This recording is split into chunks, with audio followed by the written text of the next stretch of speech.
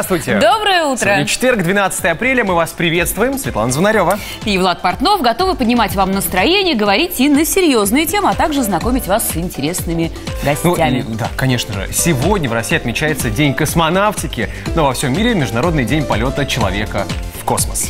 Как вы помните, 12 апреля 1961 года советский гражданин Юрий Гагарин на космическом корабле «Восток-1» совершил первый полет в космос, тем самым навсегда внес свое имя в историю человечества. Поговорим сегодня и об этом, но не только. Готовят все кулинарные традиции мира, о которых вы не подозревали. «Забери меня, мама» Глеб ищет семью. Мамам о детях. Как сделать кинетический песок из соды – И начнем программу сюжета, который будет очень кстати тем, кто сейчас завтракает. Нет, у нас пока не кулинарная рубрика «Приятного аппетита». Сейчас сюжет о том, как завтракают, обедают и ужинают в разных странах мира.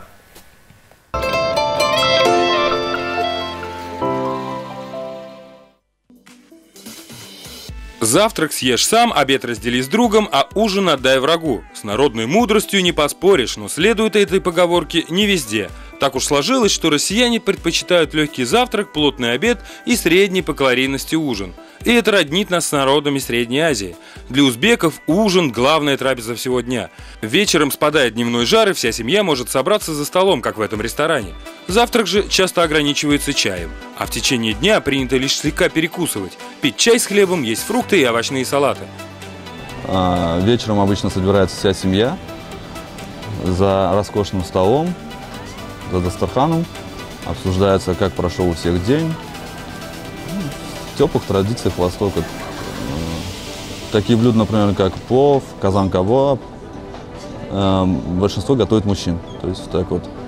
Женщины же готовят больше те блюда, которые связаны к тесту. То есть лагман, э, каурма лагман, бишбармак, что-то вот вроде этого. Красивая сервировка, визитная карточка и французов, но они стараются питаться по режиму. Обед – главный прием пищи. На столе обязательно закуски, мясное или рыбное блюдо и, конечно же, сыр. Немцы же едят по многу и в течение всего дня. И закон – перекус прямо перед сном. С ними конкурируют испанцы, греки и балканские народы. Но у сербов, румын и болгар все же в день всего три приема пищи. Завтра ходит сыр, йогурт, хамон – как видите, э, аджика по-сербски, так, так скажем, и, э, и хлеб, конечно. А, э, обед, обычно плотный, состоит из чорбы и много мяса. А что касается ужина, он тоже плотный. Он не легкий, как яблоки, фрукты, а тоже состоит из яйца, хамона тоже, и сыра обязательно, и йогурт.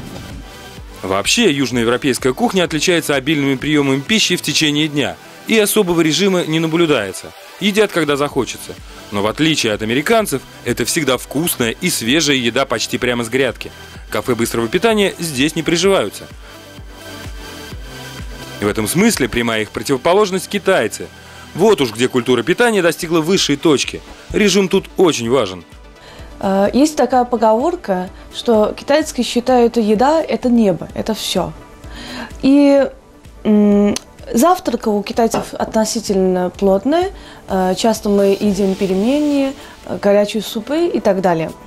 Ну, конечно, обед и ужин тоже достаточно много едим. Но в целом Э, китайцы кушают гораздо раньше, чем в России, в Европе. Э, допустим, завтрак может быть в 6, в 7 начинается, обед в 11-12, а ужин 4-5 э, до 6. Мы считаем это более здоровый образ жизни. Китайская еда действительно довольно легкая. Чай, рис, зелень, фрукты, рыба и различные соусы. Довольно однообразно, но зато здорово. Так же, как и в Африке. На обед и ужин обычно готовят сразу одно и то же – а мы завтракаем в 8 часов. Это ну, просто чай с хлебом или национальное блюдо, которое называется чапати. И потом обеда, обедаем в 12 часов. Это манна каша, но твердая каша. с мясом и с курицей. А в 4 часов мы немножко кушаем, просто чай попьем и все.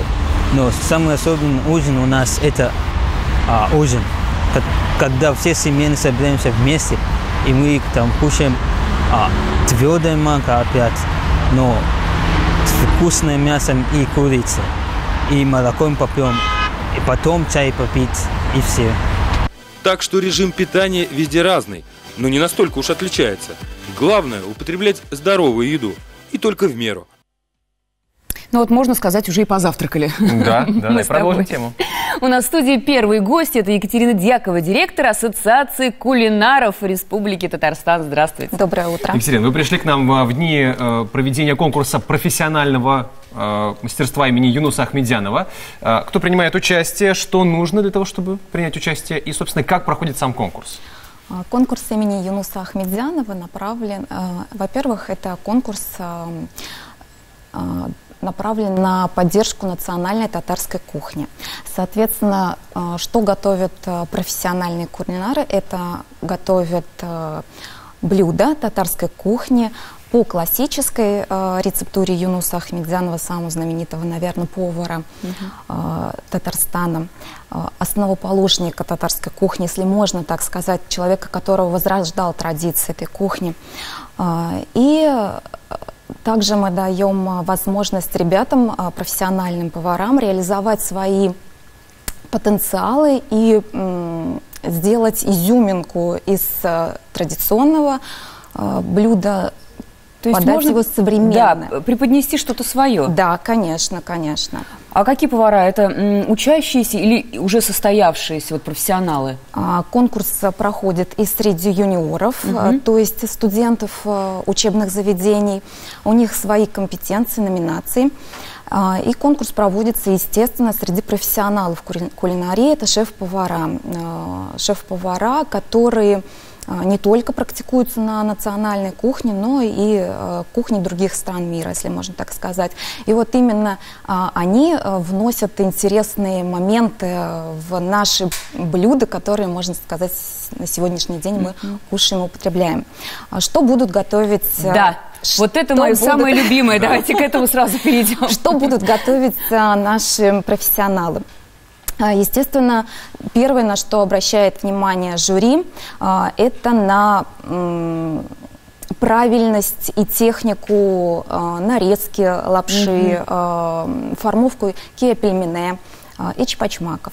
То есть это как будто это будет первые блюда и вторые, и... И сладости. И сладости, Сладости. конечно. То есть конкурс, Выпечка вот. конкурс разделен на несколько этапов, и каждый может заявиться как индивидуально в этапах, как, так и Командные какие-то? командные зачеты. Да, вот а, самая интересная часть, на мой взгляд, конечно, конечно, ну нельзя так говорить, это третий этап, где ребята будут реализовывать свои возможности. Они готовят первое блюдо, они готовят а, второе блюдо по современным технологиям. Конечно, на сегодняшний день а, Раскрывать секреты я не могу. В 10 часов старт соревнований. Они будут проходить все три дня.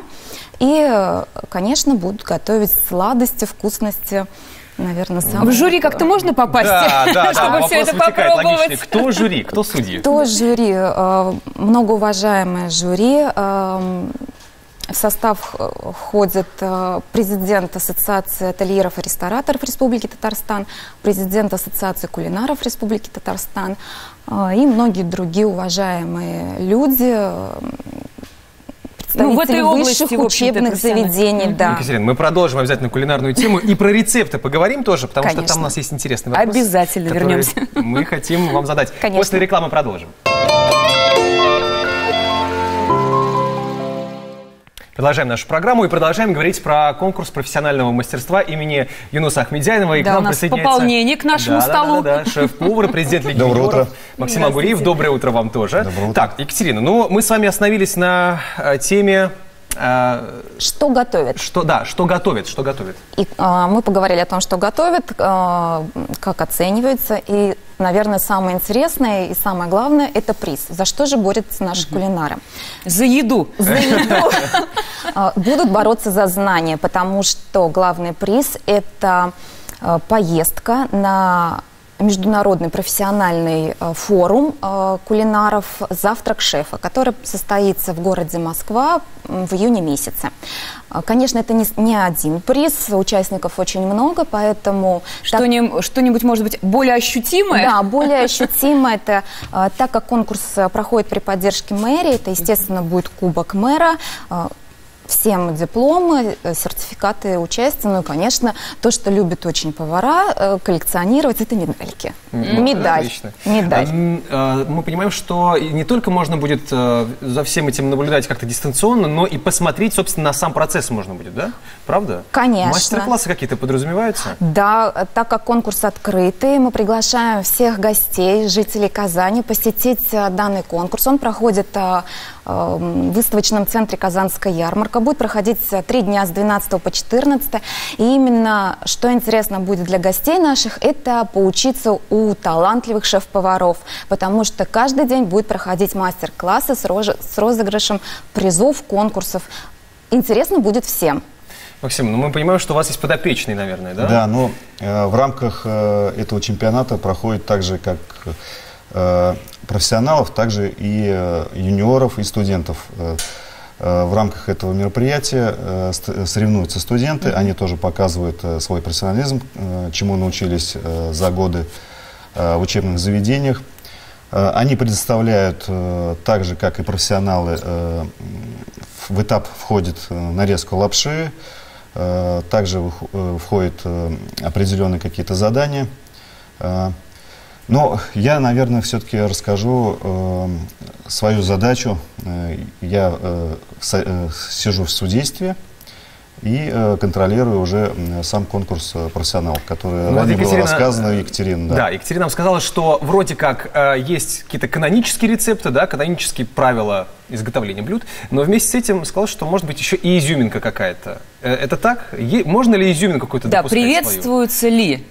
Ну, на самом деле, э, конкурс э, рассчитан на то, что, э, допустим, то, что готовили наши бабушки, э, Все-таки готовили раньше. больше. Классика, да. Классика, да. Но э, в новой по- подаче, в новой модернизации для этого и существуют конкурсы, которые э, повара пок- показывают свой профессионализм и то, что они добились, и то, что они делают. Э, В свое время Юнус Ахмедянов, э, как сказать, можно сказать даже, он мэтр э, гастрономии в Татарстане, так же, как, допустим, есть Поль Бакюс, э, в Париже. У нас вот э, Юнус Ахмедян. Свой. Свой, Ну, да. свой И По- Максим. Поль Бакюс, э, Юнус Ахмедян, да. Э, В дальнейшем даже планируется, значит, э, когда уже будет масштабное мероприятие, э, вот именно чемпионат Юнуса Ахмедянова, э, будет кубок э, Юнуса, да, такой же, как э, Поль, э, Золотой Бакюс, такой же будет Золотой Юнус. Ну, давайте мы тогда, э, чтобы, чтобы мы все могли прочувствовать вот эту историчность, да, и, э, и значимость этого повода. Ну, для да, я могу рассказать какой-то рецепт. Рецепт, поделитесь Обязательно. простой, Да, чтобы элементарный. простой был, Простой доступный. рецепт. Э, Интересен тем, что э, есть, э, значит, и суп, и второе блюдо. Это кулама. В принципе, достаточно известное. Готовится из теста. Э, Могу вкратце рассказать. Э, Вкратце. Очень быстренько. Вкратце, да, значит, э, готовится тесто пресное, как для, значит, лапши. Лапши. Нарезается ромбиками, заранее отваривается говядина, пассируются овощи, э, значит, э, затем отваривается вот это, как сказать, э, тесто, Тесто. ромбики, э, припускается со сливочным маслом и соединяется с овощами и мясом. Это как второе. Ну, естественно, когда вы хотите, по- по- как сказать, попробовать суп, то добавляете Бу- бульон бульон. из этого же мяса. Вот. Сейчас, опять же, если возвращаться модернизированный, то мясо уже не варят, а томят или используют какие-то новые технологии, например, сувид. Ну, это, в общем-то, ну, низкая как кому- как кому длительное нравится. время, да. Ну что, обязательно попробуем. Спасибо большое. Желаем вам удачно провести э, весь конкурс. Ну и пускай победят Спасибо. самые, самые сильнейшие. Самые сильнейшие. Будем самые работать. лучшие, самые лучшие. Удачи Вы прод- всем. Удачи. Да, мы вам желаем хорошего дня. А прямо сейчас мы переходим к обещаниям звезд. Гороскоп. Итак, овны – это прекрасный день, чтобы расслабиться и отдохнуть. Никуда сегодня не бегите, а лучше вообще не покидайте стен родного дома. В жизни тельцов сегодня вряд ли произойдет нечто экстраординарное. Многие представители знака временно утратят интерес к активной деятельности. Откажитесь от революционных преобразований и спокойно занимайтесь рутинными хлопотами. Близнецам, против воли оказавшимся в одиночестве, звезды советуют трезво поразмышлять о реальном положении дел и своих дальнейших перспективах. Раки. Сегодня можно отступить от привычного распорядка дня. Не планируете на эти сутки напряженную деятельность, работать в поте лица вам вряд ли захочется. С утра до вечера вас могут сопровождать мысли о будущем, особенно о финансовом аспекте. Львы, не бросайте начатое, пока не дойдете до победного конца или не получите первые наглядные результаты. Ваше самочувствие вплоть до ночи может оставаться неважным. Мгм. Девы, у вас гармоничный день, он располагает к постоянству чувств и намерений, а также дает предсказуемость, прогнозируемость событий. Намеченные планы будут успешно доведены до конца. А, Первая половина гороскопа, мы пока остановимся, обязательно продолжим во второй половине, у нас еще много всего интересного. Ну а сейчас, друзья, вас ждет другая информация, не менее значимая и не менее интересная, которая заинтересует всех, у кого есть мобильный телефон. Как настроить связь на свою волну? Продвинутые пользователи мобильной связи получили возможность настроить тариф под себя и платить только за то, что действительно нужно. Кому это будет интересно и как собрать свой идеальный тариф, выяснял наш корреспондент. Поговорить с близкими, ответить на деловое письмо или выложить селфи в Инстаграм. Для каждого смартфон – индивидуальный помощник, а потому и тариф каждому нужен свой. Например, Венера работает риэлтором и всегда должна быть на связи. Кроме того, ей нужно много мобильного интернета. Приходится обмениваться с заказчиками объемными файлами. Интернет и минуты как бы очень для меня важны. Порой минут мне даже не хватает. Чтобы каждый мог получить свой идеальный тариф, мобильный оператор Теле2 запустил новую тарифную линейку. Как рассказал директор казанского филиала Теле2 Марат Кабанов, тем, кто ценит готовые решения, компания предложила ряд удобных тарифных планов с разным набором услуг. А самые продвинутые юзеры теперь могут настроить тариф самостоятельно в салоне связи или в личном онлайн-кабинете. Я думаю, что возможность настраивать тариф под себя очень понравится нашим абонентам. Во-первых, это удобно. Каждый абонент может выбрать то количество минут, а, гигабайт и дополнительных опций, которые ему нужно. И, во-вторых, это очень выгодно. В этом случае абонент платит только за тот а, набор услуг, который он выбрал в своем пакете. Чтобы настроить свой идеальный тариф, достаточно зайти на сайт оператора и с помощью простой навигации выбрать нужное количество минут и гигабайт. И ваш идеальный тариф готов. Вот и Венера настроила тариф под себя, теперь и минут, и гигабайтов всегда хватит. Впрочем, если к концу месяца Венера не использует часть услуг из пакета, они по-прежнему переносятся на следующий месяц, а неиспользованные минуты всегда можно обменять на гигабайты. Ну а сейчас меняем тему и будем говорить о ремонте. Думаете, что классика в интерьере окончательно вышла из трендов? Вы ошибаетесь, и вот доказательства.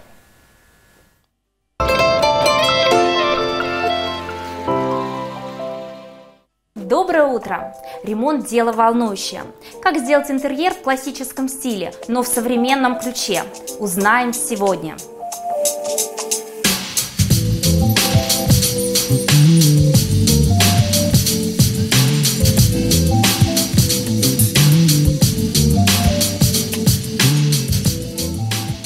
Современная классика – это не просто направление в дизайне интерьера, это стиль жизни, образ мысли. Она требует особого внимания в подборе аксессуаров, картин, скульптур. Ключевую же роль играет освещение. Классическая люстра может вписаться абсолютно здорово в современный интерьер и смотреться там уместно. Просто она должна быть именно для этого помещения, для этого интерьера, Освещение традиционно дополняется боковым. Как правило, бра и светильники составляют единый ансамбль с люстрой. А люстра – это не только осветительный прибор, но и арт-объект, привлекающий внимание и задающий тон всему помещению. В таком интерьере э, я люблю сочетать э, как теплые, так и холодные материалы между собой тактильно. Это ну, э, создает какую-то небольшую динамику в интерьере, и смотрится это всегда очень выигрышно, когда э, между собой материалы э, сочетаются именно таким образом, такие как э, глянцевый камень и, например, теплая, теплая поверхность дерева, паркет и стекло, эмаль. Э, все это между собой хорошо сочетается.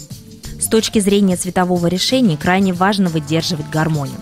Лучше всего подойдут теплые пастельные оттенки – молочный, кремовый, бежевый. Они позволят мебели выглядеть наиболее выигрышно и поддерживают общую концепцию сдержанности и спокойствия. Такие же оттенки могут быть использованы и для ванны, выполненной в современном классическом стиле. Использование трех зеркал фронтальное и два боковых. Это визуально расширяет помещение, наполняет его светом. Какое помещение бы вы ни обустраивали, такой подход будет уместен везде. Учитывайте все нюансы, о которых мы рассказали, и вы сможете создать в своем доме современный классический интерьер. И мы вновь меняем тему. Говорим о вкусном и полезном. Фрукты и овощи, богатые растительными пигментами, флавоноидами. Ну, это красные яблоки, виноград, груши, вишня, черника, клубника, гранаты, баклажаны, э, красная капуста. Помогают поддерживать нормальный вес тела и даже худеть. Такое открытие сделали исследователи из Университета Восточной Англии и Гарвардской школы медицины.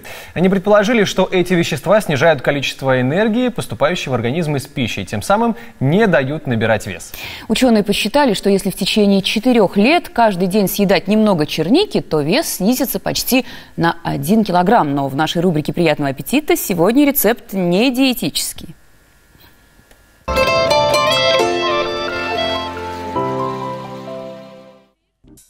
Отрежьте концы багета. Удалите часть мякиша.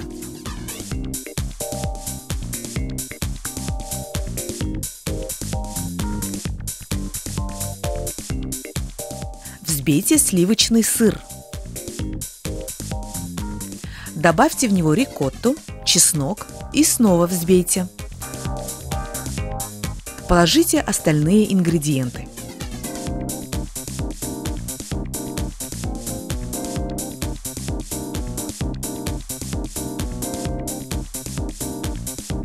Заполните багет начинкой, утрамбовывая массу.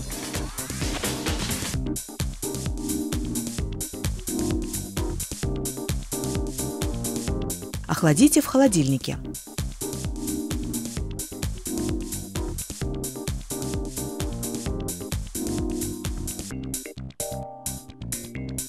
Перед подачей нарежьте на порции.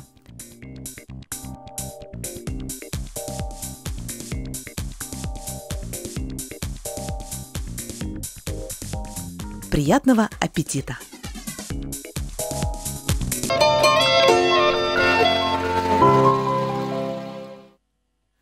И снова здравствуйте, наша программа продолжается. Сейчас новость для любителей маникюра и педикюра. Мастера отныне не могут оказывать услуги клиентам с заболеваниями ногтей. Им также будет необходимо пройти обязательный 250-часовой курс обучения. Такие требования содержатся в национальном стандарте на ногтевой сервис, который э, с октября 2018 года вступит в силу в России. Росстандарт утвердил национальный стандарт. Услуги бытовые, ногтевой сервис, терминология, классификация и общие требования требования. А сейчас в продолжение темы о красоте совета юриста. Что делать, если услуги косметолога вас не устроили или даже повлияли негативно на ваше здоровье?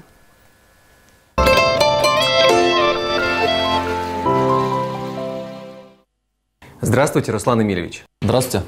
Поход к косметологу не всегда может закончиться радостью. Редко, но возникают проблемы. Ожоги, сыпь и так далее. Как юридически добиться справедливости в этой ситуации? Первое, что необходимо сделать, это зафиксировать причинение вреда здоровью в медучреждении. А, после того, как а, выявлен вред здоровью и определена стоимость лечения, вам необходимо обратиться с претензией в организацию, в которой была проведена данная процедура.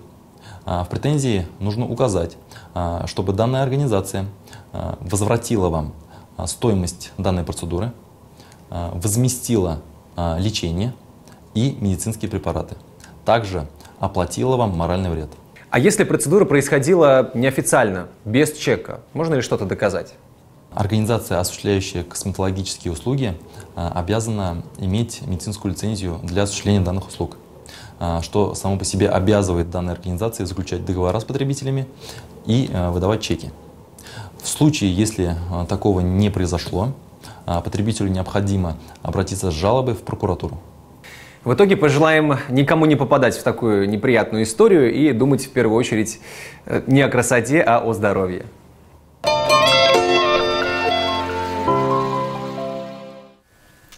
Сода и фантазия вашего ребенка. Это все, что нужно для приготовления модной игрушки под названием кинетический песок.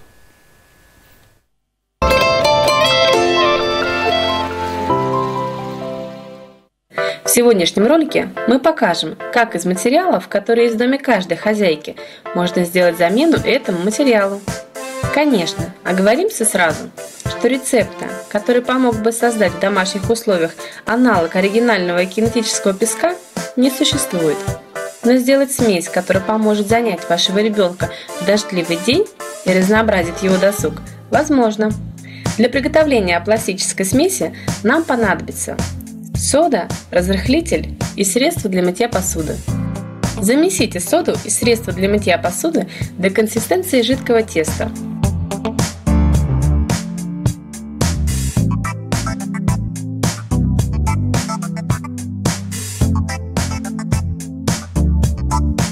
Начинайте добавлять разрыхлитель до тех пор, пока смесь не станет мягкой и перестанет прилипать к рукам.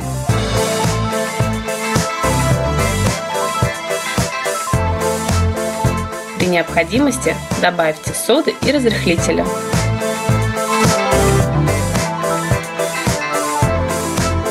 Готовую смесь храните в плотно закрытой емкости. Обращаем ваше внимание, что играть с таким материалом следует с детьми от 4 лет под присмотром родителей, а после обязательно тщательно мыть руки.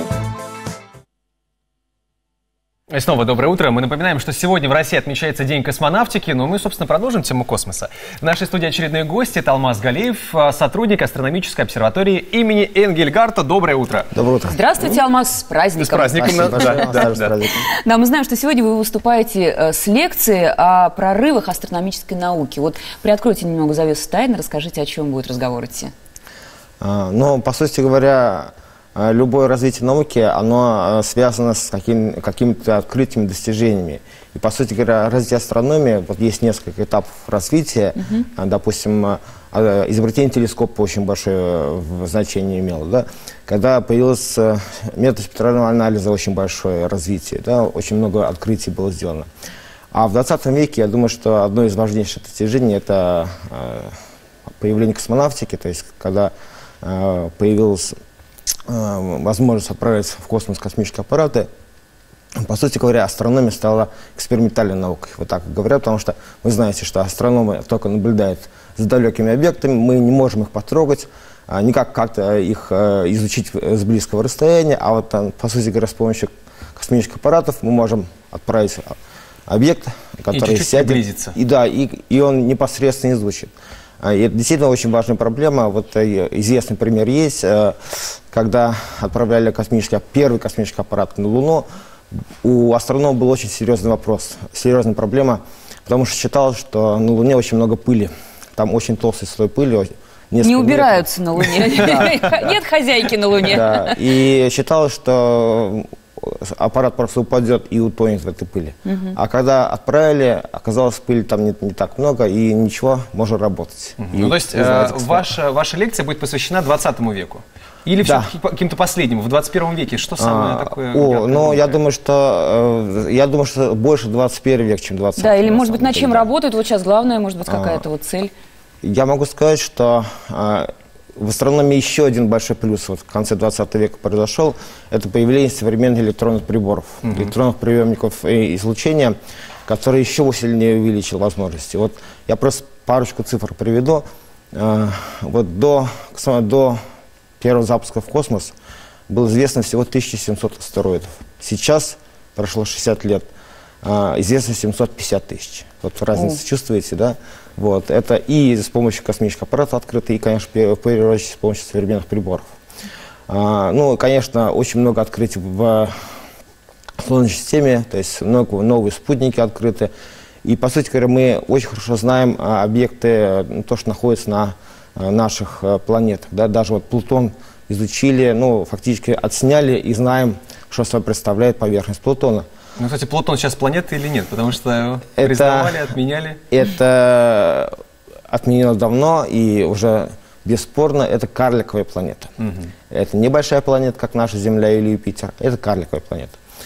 А, очень интересно, конечно, я могу сказать про Марс, потому что Марс а, Да, потому что сейчас вся, вся планета, все ведущие страны думают о том, как полететь Да. на Марс. Что там у нас с Там очень планетой? много интересных э, образований, очень много интересных объектов рельефа. Конечно, это очень удивительно, потому что на возможности космонавтики таковы, что а, а, приборы там работают очень долго. Вот я могу сказать, что космический телескоп Хаббл, который все знают, он работает с 90-го года, представьте, да, уже поколения людей сменились, а телескоп так уже работает. Да? То же самое космический аппарат СОХа, э, американский, который изучает Солнце, он тоже очень много открытий сделал. И то же самое вот э, с помощью космического аппарата, который изучает Марс, мы знаем лучше Марс, поверхность Марса, чем Земли. То есть mm-hmm. вся отснята очень хорошо. Ну вот э, давайте мы, мы предлагаем сейчас вернуться из других планет на Землю. И обсерватория сегодня открыта для всех желающих, mm-hmm. да, мы правильно понимаем? Да. Что смогут увидеть посетители? Что самое интересное? Конечно, вот я сам проведу небольшую лекцию, рассказав вот те самые достижения, показая, конечно, интересно людям посмотреть картинки, потому что и даже не просто посмотреть, а объяснить, что они видят. А, мы сделали экскурсию по старинным инструментам, обсерватории, э, истории немножко рассказать, потому что многие э, бывали и все равно хотят еще раз узнать, по, пообщаться с астрономами. Ну и если будет хорошая погода, это зависит уже не от нас, а, может быть, даже удастся посмотреть э, в телескоп Венеру и яркие объекты. Да, вот в какое время суток все-таки это лучше делать? После захода солнца, конечно. Вот, угу. да. Ну, сегодня с утра вроде как была э, погода приятная, поэтому да. надеемся, Но что если прохлада, то она, может быть, э, будет еще продержится. Ну и самый главный вопрос, который нас всех волнует, и тебя, есть ли жизнь и меня, на Марсе? и еще 7, 7, 7 миллиардов человек на нашей планете. Да, есть ли жизнь на других планетах, что говорят ученые? А, я вот лично считаю, что одним из важнейших достижений, за которые дав давно, давно нужны, должны дать Нобелевскую премию, это открытие планет около других звезд. Так? Вот экзопланеты – это планеты вне Солнечной системы. А, они были открыты в 1995 году. Но вот опять-таки за счет того самого прорыва, который есть в астрономии, сейчас э, уже известно больше тысячи планет, причем около тысячи из, из них открыл космический телескоп. Кеплер, он очень маленький по масштабам, он фактически такой же телескоп, как на Земле маленький находящийся. Но вот э, космические телескопы позволяют сделать так много открытий, которые на Земле просто Так невозможно. вы видели вот этот космический вот. телескоп? Все-таки на главный вопрос Алмаз вы не отвечаете, Интересно уходите то, что там очень много ответа. планет. Они очень разнообразны, совершенно разнообразны по условиям. И, конечно, если мы видим тысячи планет, а скорее всего их миллионы, то наверняка есть возможность для появления жизни. То есть мы, наверняка. естественно, да, мы инопланетян не видели настоящих, поэтому можем да. только предполагать, что, скорее всего... Ну, приятно осознавать, что, что где-то там все-таки есть. Да. Скорее всего, да. Жизнь, скорее всего, есть. Да. Спасибо большое. Да. Естественно, условия для э, развития материи, появления жизни. Скорее всего, она где-то тоже есть. Ну что, это отличная новость, она меня порадовала. Спасибо большое, э, Пожалуйста. хорошего дня, удачной лекции. Ну и, э, нет, не, не, не для инопланетян, а для казанцев и для гостей нашего города. Камила Хакимульна сейчас расскажет покажет авторский обзор, что интересного происходит в Казани сегодня.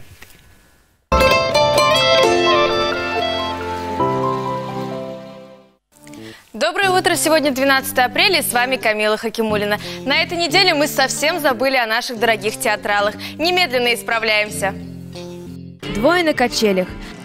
Одна нечаянная встреча перерастает в свидание. Спектакль рассказывает о двух одиноких людях, хватающихся за случайное знакомство, как утопающий за соломинку.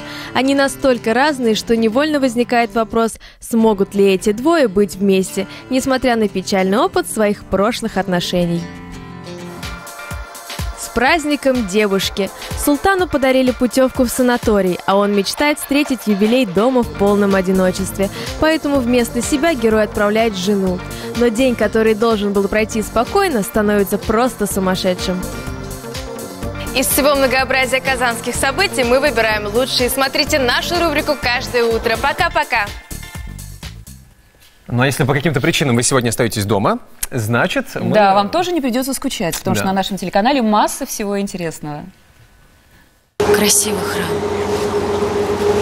но заброшенный. Красивый. Сам товарищ Анисимов самолично приезжал. А кто это такой Анисимов? У, начальник нашего здешнего НКВД. Зверь. У, зверь. В ссылке Зоя начинает практику в местной больнице. В Германии Стефан делает предложение Мусе, но она остается верна Мите. Карл, узнав о том, что его дедушка был евреем, кончает жизнь самоубийством. «Я вернусь». Смотрите сегодня в 12.00.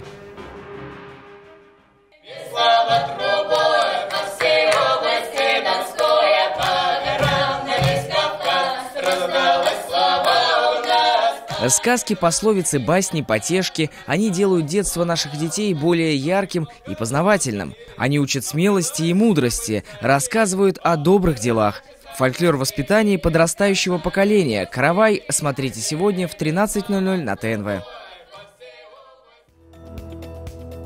На Земле сотни видов животных, а многих из них мы даже никогда не слышали. А эти дети знают о них все. Юные экологи Казани изучают окружающий мир. Я обнимаю глобус сегодня в 14.45. Ну а сейчас обещанное продолжение астропрогноза. Да, про звезды и космос мы поговорили с научной точки зрения, сейчас с, ну, около научной точки зрения. Весы. А, в любом деле вам сегодня полезны практичность и деловитость. Старайтесь не оставлять за собой задолженностей. В данный период они таят для вас большую опасность. Да, долги нужно отдавать, да. любые. Скорпионы, сегодня проявите дипломатичность, не настаивайте на своих принципах, не возобновляйте споров. Если вы не правы, признайте это. Если между вами и другим человеком произошло недоразумение, забудьте о нем. В супружеской жизни ориентируйтесь на вкусы и настроение партнера. В противном случае вы рискуете провести уикенд по отдельности. О, это, это плохо. Да. Э, стрелец, возможно повышение в должности. День сулит много ярких увлечений и впечатлений, вдохновенную, яркую любовь. Шансов много и много возможностей. Если будете цепляться за старые привычки, упустите то, что идет само в руки. Поэтому главный девиз – действуйте.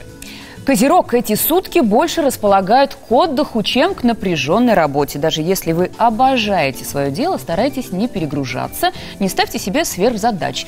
Большинству козерогов в это время не помешает дополнительный выходной день, который они честно заслужили. Возрастает вероятность позитивных событий. Ура, ура. У козерогов все выходные, можно сказать, уже начались. Да. Водолею не стоит полностью концентрироваться на служебных делах, карьере, профессии, напряженной интеллектуальной деятельности. Уделите внимание домочадцам, найдите время для общения общения с родителями. Даже если в семье не все ладится, вы нуждаетесь в близких, а они в вас. Рыбы – это прекрасный день для неспешной прогулки, для спокойного разговора в неофициальной обстановке. Он подходит для совместных чаепитий, для небольших родственных мероприятий. Приобретения будут особенно удачными, если вы продумали и спланировали их заранее. С новыми планами, в том числе на ближайшие дни, лучше повременить. Ну что ж, это все, что мы успели вам рассказать сегодня, но вот что вы увидите завтра.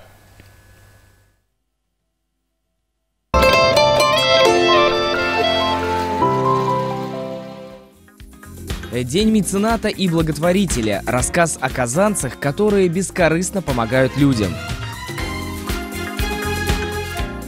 Форма. Несложные упражнения для бодрости тела и духа. Приятного аппетита! Очередной кулинарный рецепт к вашему столу. Это и многое другое завтра в 8.10 на ТНВ. Ну а сегодня с вами были Светлана Звонарева. Влад Портнов. И этим же составом встретимся завтра в 8.10 на ТНВ. Будем ждать с нетерпением встречи. Всем хорошего дня. Пока-пока.